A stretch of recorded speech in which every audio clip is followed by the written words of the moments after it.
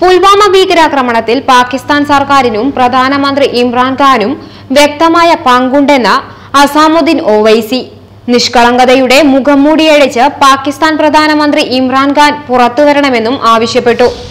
തെരഞ്ഞെടുപ്പിന് ശേഷം തിരിച്ചുവരുമെന്ന ആത്മവിശ്വാസവും പ്രതീക്ഷയും പങ്കുവെച്ച് പ്രധാനമന്ത്രി നരേന്ദ്രമോദിയുടെ മൻ കി ബാത് നിലവിലെ സർക്കാരിന്റെ കാലത്തെ അവസാന മൻ കി ബാത്തിൽ സംസാരിക്കുകയായിരുന്നു പ്രധാനമന്ത്രി.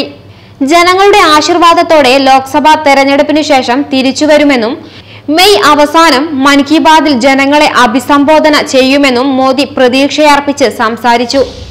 A I C C general secretary Priyanka ഗാന്ധിക്ക് പിന്നാലെ രാഷ്ട്രീയത്തിലേക്കെന്ന സൂചന നൽകി ഭർത്താവ് റോബർട്ട് വാദ്രയും. ഫേസ്ബുക്ക് പോസ്റ്റിലാണ് വാദ്ര രാഷ്ട്രീയ പ്രവേശത്തെക്കുറിച്ച് പരോക്ഷമായി സൂചിപ്പിക്കുന്നത്.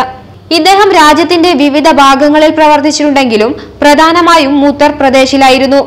അവർക്കായി കൂടുതൽ കാര്യങ്ങൾ ചെയ്യാനുണ്ട്. അവരിൽ നിന്ന് തന്നെയാണ് കൂടുതൽ സ്നേഹവും ലഭിച്ചിട്ടുള്ളതെന്ന് വാദ്ര പറയുന്നു. അമേരിക്കയിലെ സ്ഥാനപതിയെ സൗദി അറേബ്യ മാറ്റി. ഖാലിദ് ബിൻ സൽമാൻ രാജകുമാരനെ മാറ്റി. റിമ ബിൻ ബന്ദർ രാജകുമാരിയാണ് പുതിയ സ്ഥാനപതിയായി നിയമിച്ചത്. സൗദിയുടെ ആദ്യ വനിതാ സ്ഥാനപതിയാകും ഇതോടെ റിമ ബിൻ ബന്ദർ.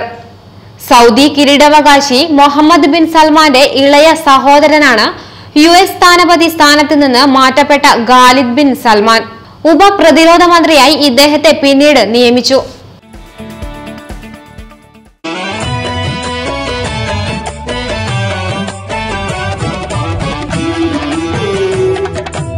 സ്വർണ ചരിത്രത്തിന്റെ നൂറ്റിയൊന്ന് വർഷങ്ങളിൽ ചുങ്കത്ത് ജ്വല്ലറി അനുഭവം അതാണ് സത്യം.